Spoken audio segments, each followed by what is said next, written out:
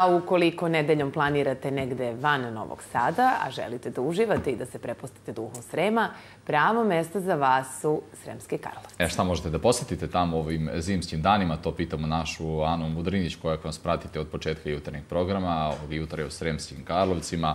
Ana, dobro jutro još jednom. Reci šta je tvoja preporuka kada je ovo divno mesto u pitanju?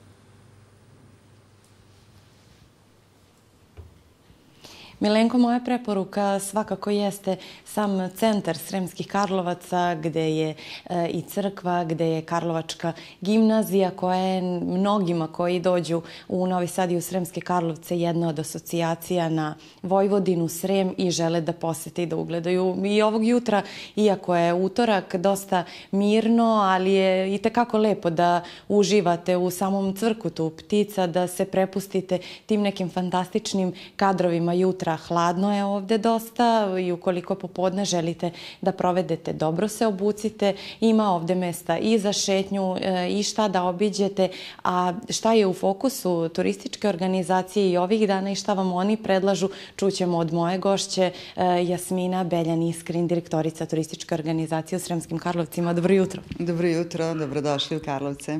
Bolje vas našli, hvala što ste nas ugostili ovde u turističkoj organizaciji. Pa evo, koja je preporuka svima onima koji se upravo danas po ovom hladnom eh, zimskom februarskom danu upute u Karlovce. Šta posetiti i kako se ugrejati? A, lako se ugrejati u Karlovcima. Eh, pre svega, eh, preporuka je da dođete u turističku organizaciju, informativni centar. Tu ćete dobiti apsolutno sve informacije. Od prošle godine mi smo uveli objedinjenu ulaznicu. Znači, ukoliko uzmete objedinjenu ulaznicu sa našim vodičem, možete da idete u razgledanje raznih objekata u Sremskim Karlovcima. Između ostalog, znači, ulazi se u Karlovačku bogosloviju. Prvi put od prošle godine smo uveli to, to je no, no, novina u našoj ponudi. Znači, ulazi se u bogosloviju, tamo se razgleda e, svečana sala i spomen soba. Zatim ulazi se u Patrijašijski dvor gde se obilazi riznica, naravno u Sabornu crkvu. E, ona nije samo religijski objekat, ona je, ima i umetničku vrednost, tako da pozivamo sve da je obavezno posete. Obilazi se i naravno Karlovačka gimnazija, kao što ste pomenuli, ona je jedan od simbola Sremskih Karlovaca i u njoj se razgleda svečana sala i spomen biblioteka. E, takođe, od ove godine moći će da se uđe i u katoličku crkvu Svetog Trojstva, ako želite da se ugrejete, obićete vinarije Sremsko-Karlovačke. Mi imamo dvadesetak vinarija u Sremskim Karlovcima, sastavni smo deo vinskog puta Fruške gore. E, dakle, u našim vinarijama možete da se ugrejete onako lagano, od rakije preko belih i crvenih vina, naravno uz neki kolač kao što je kuglov možete da popijete i dobar bermet. Tako da može mnogo toga da se obiđe u Karlovcima. Osim ovog centra, kako ste vi pomenuli, e, vredno je svakako videti, obići, posetiti kapelu Mira, zatim Gradski muzej. Može se otići i do ekološkog centra, tamo, naročito ukoliko želite da organizujete neke radionice, preporuka da tamo pre svega organizujete radionice, a kad dođe prolećni period, onda ćete moći da se šetate i stražilovom i da odete do našeg Dunava. Da, svi uživaju u tim prolećnim bojama. Pripremate se lagano i za tu prolećnu sezonu, ali pre nego što pomenemo nju, moramo se osvrnuti i na sve ono što se dešavalo tokom praznika u Karlovcima. Zaista je bilo božanstveno. To je bila Karlovačka, e, ta neka idila. Da, božićna idila. E, naime, e, Sremski Karlovci su ove godine, odnosno pro, krajem prošle godine, e, prikazani i u e-magazinu Evropske, Evropske, Evropske, Evropske e-magazin za turizam. Dakle, tamo smo prikazani kao božićna destinacija Srbije i svake zemlje jedan grad je predstavljen. Mi smo imali tu čast da mi budemo predstavljeni, a zašto? Znači, upravo zato što je kod nas sve nešto prvo i božanstveno, zaista, jer uh, Sremski Karlovci su inače lepi, a kada su malo još okićeni i uz koncerte koje smo mi organizovali, organizovali smo i u Karlovčoj gimnaziji koncert i u uh, Katoličkoj crkvi koncert na Orguljama, zatim smo imali dva koncerta na trgu, uh, imali smo Božićni market, onako zaista je bilo svečano kako priliči Sremskim Karlovcima.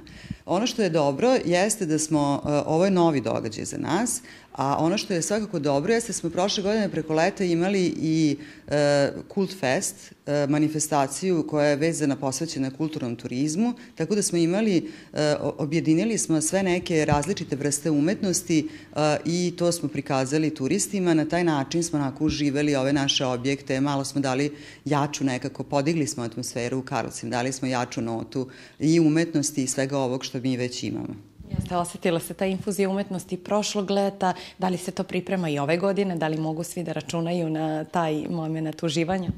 E, svakako. E, prošle godine je bio drugi po redu Kult Fest, ove godine ćemo znači preko celog leta imati, uglavnom su to petak, subota, nedelja događaj, preko, od popodneva do večernjih negde sati. To su popodnevna tiha muziciranja, likovne kolonije, grafičke kolonije, filmski festival je negde uključen zajedno sa nama u Karlovcima. Dakle, sve to planiramo i za ovu godinu.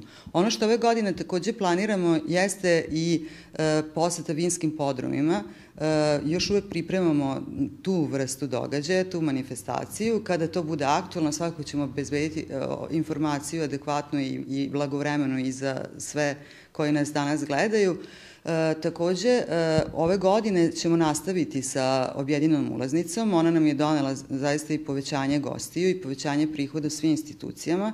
Koja je cena njena, da kažemo svim gledalcima? Da, e, e, objedina ulaznica je 350 dinara za decu i studente i penzionere, a za odrasle je 500 dinara po osobi. Znači, u njoj je vodič i oni objekti koje sam navela. E, pored toga, izdali smo brošuru tematske rute Sremsi Karlovaca, jedan tematski vodič gde možemo, gde faktički smo osmislili mi neke od ruta za turiste kako da provedu produženi vikend u Sremskim Karlovcima i okolini. Integrisali smo okolinu, znači i Fruška gora i Novi Sad, pa idemo i, i negde dalje.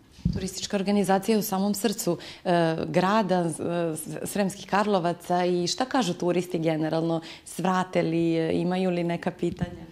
Da, mi radimo uh, anketiranje permanentno sa turistima i ulaze naravno u naš infocentar i negde pa i 30.000 gostiju nam uđe tokom godine, što je zaista veliki broj. E, imamo dosta turista iz raznih zemalja, svi su oduševljeni, beležimo šta oni govore, e, najčešće su zainteresovani za posetu vinarija, za pešačke ture, što je jako interesantno.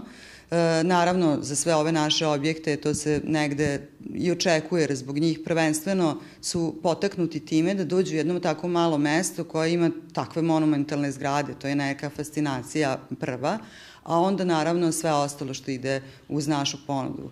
Tako da jesu zaista zadovoljni, preporuke imamo, znači stranaca ove, njihovim, u njihovim zemljama, tako da mnogi sada stranci dolazi po pre, preporukama svojih e, sunarodnika. Moramo samo da napomenemo, osim što evo postoji e, štampana verzija turističkog vodiča koja je negde svakako značajna da se prelista, imamo i digitalnu verziju e, koja je dostupna osim e, svim turistima. E, imamo digitalnu verziju, ali ne samo turističkog vodiča Sremskih Karlovaca. Mi smo e, prošle godine preko projekta obezbedili četiri indoor screen touch ekrana, tako se zove, Zvanični naziv, da. Apsolutno. Uh, jedan smo postavili... Evo, možemo znači, da priđemo da, i njemu, da pogledamo. U, u, kod nas u Sremske Karlovce, u informativnom centru našem. Jedan je postavljen u informativnom centru uh, turističke organizacije Novog Sada, odnosno u Novom Sadu, zatim jedan je u Vrdniku u informativnom centru, jedan je na Fruškovoj gori u našem planinarskom domu. Dakle, pored posete Sremskim Karlovcima možemo ovde da recimo izađemo i onda da se opredelimo šta, šta mogu... Šta da nam se sve tu nudi, evo na primjer? Znači, na, ovo je vremenska prognoza, ali evo imamo planinarske staze i to je ono što je interesantno, znači imamo i mapu i detaljan opis svih staza i to je ono što imamo recimo u ovim tematskim rutama. Ono što takođe mi imamo, znači i tu je sad detaljan opis svih staza, koja je kilometraža, koliko vremena treba, mapa i tako tako dalje. Ono što je, je uh, jako interesantno jeste i uh, vinski vodič koji smo takođe uradili. Vinski vodič, uh, u vinskom vodiču, to je vinski put Fruške gore, s obzirom da smo mi negde informativni centar i vinskog puta Fruške gore, U tom vodiču su sve vinarije, znači na Fruškoj gori ima ih sada negde 70-ak, znači takođe je mapa i znači sorte koje možete da probate u tim vinarijama, adrese, sve ono što pripada jednom takvom izdanju. E, dakle, kada dođete u infocentar, pored informacija koje možete dobiti ovako digitalno, apsolutno imate i vodiče i za Karlovce i za Frušku goru, tematske rute, ali ono što je najvažnije, imate e, informaciju našeg ljubaznog osoblja i svu moguću pomoć, ne samo za Sremske Karlovce, nego apsolutno za okolinu, pa ovaj, imamo čak i za Srbiju kompletnu ponudu šta je ono što je dobro i šta je ono što je naj lepše videti u našoj zemlji. Fantastično. Eto, dakle, i preporuka svim onima koji vikend još uvek nisu isplanirali, svakako je da dođu ovde. Apsolutno, dođite u Sremske Karlovce, budite naši gosti, da osetite i vi šta je ono što mi imamo, šta je to tako predivno u Karlovcima. Da, jer zaista treba doći, posetiti i osetiti. Hvala vam najlepše. Hvala i vama.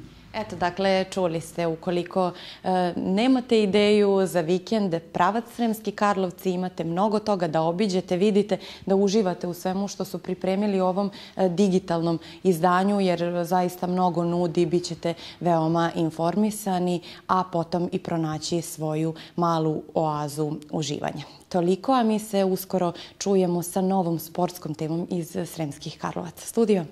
Sremski Karlovci imaju da se pohvale i brojnim sportskim uspesima. Neke od njih ćemo predstaviti do kraja našeg južnog programa. Ana, hvala tebi i tvoj sagovornici.